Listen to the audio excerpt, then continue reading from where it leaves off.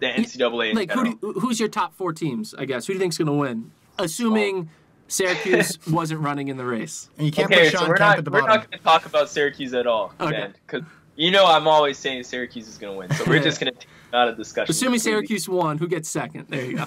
Okay. Even better. Um, you know, a lot of guys are going to be mad at me because I have a lot of friends on different teams. Um, I do think NAU um, is going to come back really strong. I think their program, it, it kind of reminds me the way we were back in 2015, where it's like they have a lot of guys there and everybody's so hungry to just be on that top seven, top five squad. And, you know, when you have guys competing against each other like that every day, you know, you only get great results. Like my boy uh, Peter Lomong, just look at his result last year.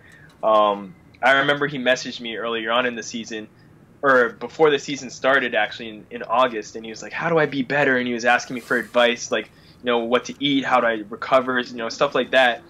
And you know, I, I gave him a good spiel, like we're good friends, and I was just real with him, and you know, told him some of the sacrifices you have to make and everything. And um, he really followed through with it. And then you know, you saw his amazing performance at cross country, and I think um, their team really gets that. Like mentally, they're all there. So I'll, I'll have them as number one. And uh, plus, they have like a lot of key returners coming back.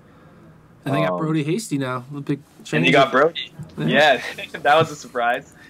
Um, that was crazy. Um, I think they're going to be great. Uh, second, man, I don't even. I'm trying to remember who is even like who's on which team. Uh, Well, you got you have like you have BYU, you have Portland, Stanford, Iowa State's Yeah. pretty good.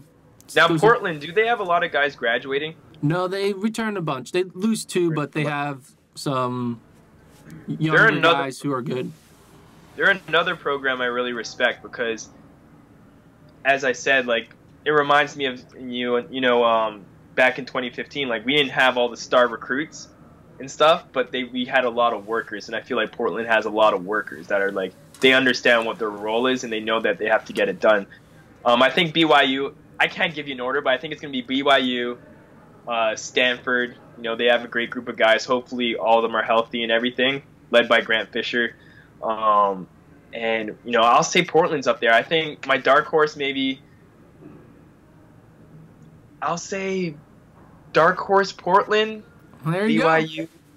There I know Rory. Rory's gonna be so mad at me because you're for BYU, but I don't know. It's just it can go. That's the beauty of cross country. It can go either way. You already know that. So that's a hard question, guys.